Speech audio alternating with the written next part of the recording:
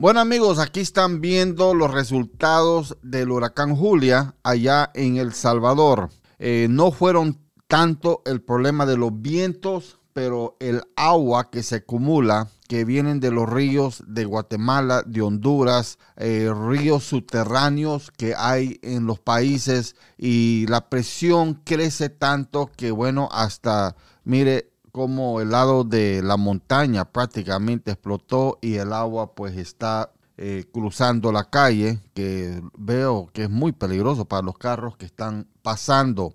Ah, como a las 5 de la mañana todavía no se miraba estas imágenes. Yo grabé un videito, estaba en la cama, no había dormido por estar viendo las noticias, pero como sabemos en este tipo de situación, eh, cuando el viento pasa cuando ya parece como que la tormenta ha bajado.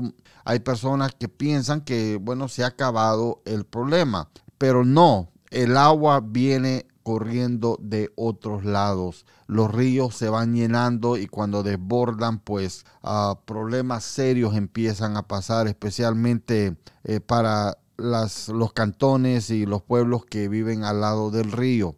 Eh, todos ya saben de la noticia de los seis soldados. Eh, dice el ministro de Defensa, Merino Monroy, junto a los equipos de las Fuerzas Armadas realizan el rescate de los cuerpos de los soldados que fallecieron en el cumplimiento de su deber, el derrumbe que hubo. Ah, hasta ahorita no ha habido eh, muchos fallecimientos, pero sí estos soldados pues eh, parece que estaban en una casa eh, así parece y hubo un derrumbe eh, muy triste por ellos. Ahí está eh, el ministro Merino Monroy, pues él está trabajando con sus soldados tratando de buscar los cuerpos de estos soldados. Ah, vamos a ver otro tweet. Dice el Ministerio de Obras Públicas informa que continúan desalojando derrumbes en la carretera al puerto de la Libertad. Yo cuando estaba en El Salvador, yo vi varios derrumbes y con poca lluvia que estaba cayendo y no digamos con el agua, como digo, que está llegando de Guatemala, de Honduras, pues va a haber mucho más derrumbes.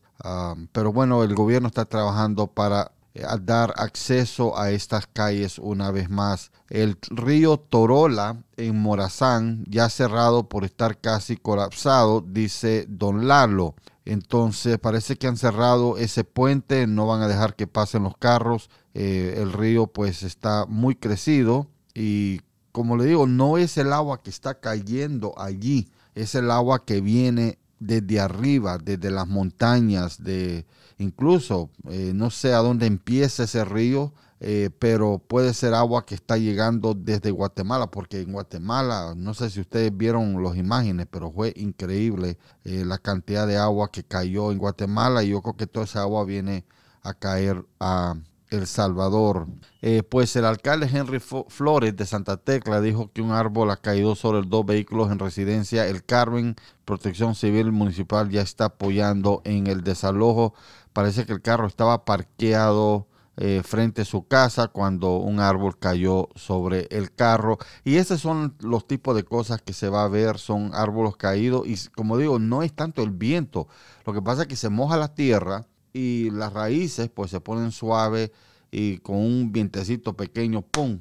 los árboles empiezan a caer. Entonces, por eso han suspendido o, han extendido las clases, la suspensión de las clases ah, para eh, más días, porque claro, no quieren niños caminando a la escuela y que vaya que le vaya a caer un árbol encima a ellos. Eh, Walter Alemán tuiteó imágenes desde el río el Sunsal, la libertad, favor acatar las recomendaciones de las autoridades. Y el problema, amigos, estaba viendo yo hoy en la mañana, es que los cantones que viven cerca de los ríos, pues el gobierno ya llevaba varios días que estaban intentando sacar a esta gente, diciéndoles pues que tenían que irse para un albergue y muchos sí fueron, pero algunos dijeron que no, porque claro, no querían dejar sus cosas, eh, tal vez no pensaban de que el río iba a crecer tanto. Ah, y yo entiendo, hay gente que tiene miedo que le van a robar las cosas o van a dejar su casa desprotegida.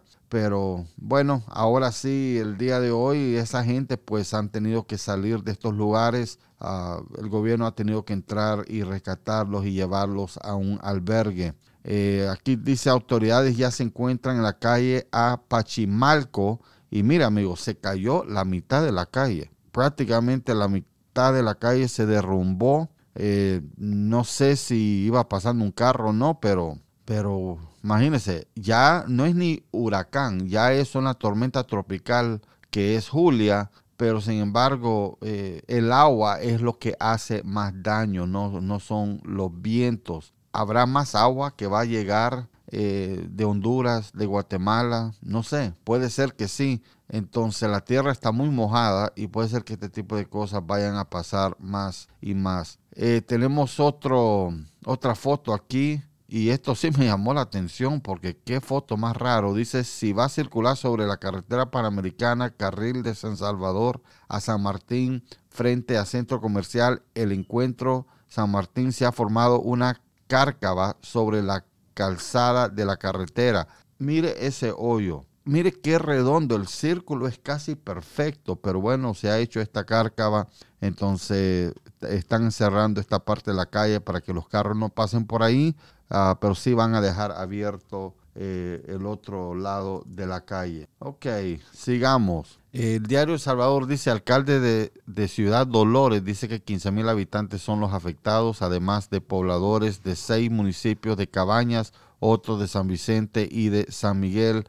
Y dice desbordamiento de río Titihualpa y destrucción de puente afecta a 15 mil personas de Cabañas y San Vicente. Imagino que es el paso para llegar a esos lugares aquí pueden ver algunas fotos donde los árboles se cayeron y vamos a ver, dice depresión tropical Julia mantendrá las lluvias en El Salvador hasta el martes, o sea, hasta el día de mañana.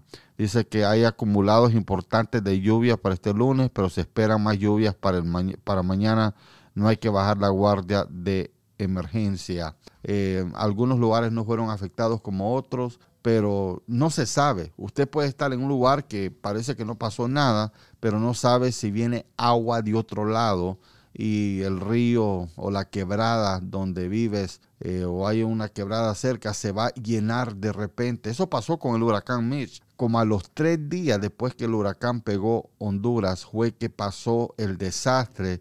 Uh, ¿Cuándo era? 1998, 99 por ahí fue algo increíble. Escuchamos un ruido como un terremoto y era el agua que, venía del río. Era como una ola del mar, como un tsunami. Era, era algo que yo nunca había escuchado y toda ese agua venía desde el norte de Honduras hasta el sur y llegó a, a prácticamente inundar todo lo que es Choluteca, eh, bueno, yo perdí un montón de ganado. Eh, fue algo inesperado totalmente. El 80% de los puentes eh, se cayeron en Honduras para esa, para esa fecha. El 80% en, en una sola tormenta. Y nosotros nos sentimos donde vivíamos nada de aire, todo calmado. ni siquiera los cielos estaban nublados, pero el agua llegó de donde, del norte del Atlántico, donde pegó el huracán. Y así es, y este es el problema que hay en El Salvador ahorita, eh, toda esa agua que pueda llegar. Entonces vamos a ver, vamos a ver qué, qué, pasa. Ojalá que lo peor ha pasado y sinceramente pudo haber sido peor. Yo sé que estas imágenes son feísimas y yo sé que, que sorprenden, pero ¿sabe por qué más gente no falleció? No falleció porque el presidente Bukele y el gobierno trabajó increíblemente fuerte para evitar o cuidar a la gente, eh, evitar que ellos estén en lugares de riesgo. Ahora hay personas que no escucharon. Eso siempre pasa. Pasa aquí en Estados Unidos cuando hay un huracán. Hay gente que dice, yo no me voy para ningún lado. Y bueno, hay personas que hizo lo mismo allá en El Salvador. Pero bueno, están trabajando para limpiar todo, eh, abrir eh, los pasos